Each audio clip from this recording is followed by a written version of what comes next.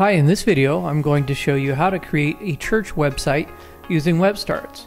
WebStarts is everything you need to create your very own website, including your domain name, hosting, and your design tools. The first step is choosing your design. To do that, click on the Sign Up Now, It's Free button.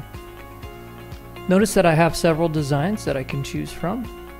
The features in these designs are not limited to, but include contact form online giving, blog, sermon archive, and prayer requests. I'm going to select this template to get started. In this step, I enter my name and my email address.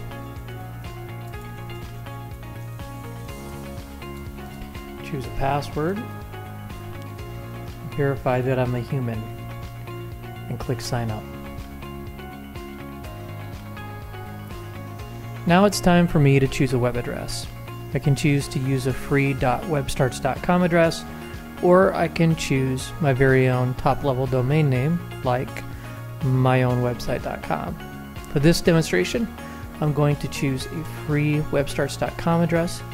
So I'm just going to choose church-website.webstarts.com. If you're stuck on this step, you can always click choose later I'm going to click continue. Let's get that getting started video out of the way. Now my site thumbnail is being generated. Notice here on the dashboard view, I have a link to my site, a button that says add domain upgrade, and then a button that says edit site. To begin editing the contents of your website, click that edit site button. On my site, I have several features that are specific to churches. For example, I have a calendar, I have sermons, online giving, prayer requests, then I have about, contact, and blog. Those are all my different pages. If I go to one of those pages, for example, my online giving page, I can see that I have an online giving form that allows somebody to enter their name, email address, comments, as well as an amount that they would like to donate. To configure that, all you need to do is double click on that element, just like any element in the WebStarts editor. And then you can click on form settings and do things like change the email where you'd like to receive the form submissions. You can also add and remove fields as well as change the field names. So maybe you don't want to collect donors' names and you want it to be anonymous, then you could do that. Uh, down here, if you click on the payment field, you can choose to allow people to enter a variable price, so any donation amount they want, or you can select a fixed price, in which case you would enter the amount that you would like them to donate. When you're ready, you just click Update Form if you want to update that online giving form. One other thing about the online giving form is that you'll want to be sure in the payment field to enter your PayPal payment email address. That's where you'll receive any donations collected from your online giving form. Going to prayer requests, I have another form that asks for your name, email address, prayer request, and then there's a submit button. And just like with the online giving form, you can double click on that and you can change things like, for example, the field names and the fields that you're asking for on the prayer request form. You can view your form submissions by double clicking on a form, clicking form settings, and then choosing the dates that you would like to look at submissions for or between and click view submissions. I don't have any submissions yet on this form, so it's not returning any results.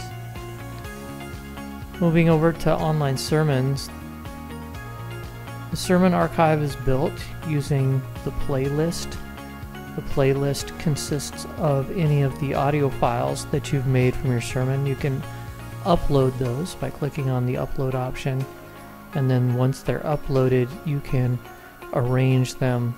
Uh, for example, let me just upload an audio file, just like this one here. Takes a few moments to upload, but once the audio file is uploaded and processed, you can select it and add it to that playlist. Next, you can click on this camera icon and then you can choose some artwork for it. You can choose to either get a piece of artwork that you've uploaded from your local computer, or you can find something on your Facebook account if you connect that to WebStarts, or you can find something using the image search function. Notice you can name that sermon anything you want, and then you can click update, and then of course you can rearrange your sermons and so on and so forth. So just add another second file here then I click update and that updates my little player. I can choose to do things like display the cover image by clicking on the settings cog and then choosing that option. You can also do things like change the background color of the player itself as well as some of the style options. Like for example if I'd like that to appear with a flat look. As always be sure to click save to save and publish your changes. Notice also you have a blog. To create your first blog post, just double click in the area where it says create your first blog post, then click new. You can add a blog title, the author name, and then you can just write your story or you can insert either an image or video uh, as well into your blog posts. When you're ready, you can save those blog posts as a draft and publish them later, or you can just click publish post and they'll be published right away. I didn't add any content to my blog, so it wasn't published. Once you're finished and you'd like to share your website with the rest of the world, I recommend clicking on Add Domain and then adding a top level domain name to your site. So if I wanted to, let's say, for example, say adams-church-website.com and click continue. Then it will say whether or not it's available, which it is. And then I'm prompted to choose a subscription plan for WebStarts. Once I pay for my subscription, that domain name will be automatically configured to work with my website. And then I can share that web address, adams-church-website.com, with whoever I'd like to go to my website Of course, that would be your domain name if you were building your site. That's it for this video. Hope you enjoyed it. Don't forget to visit webstarts.com to create your very own church website and also any other type of website that you may need.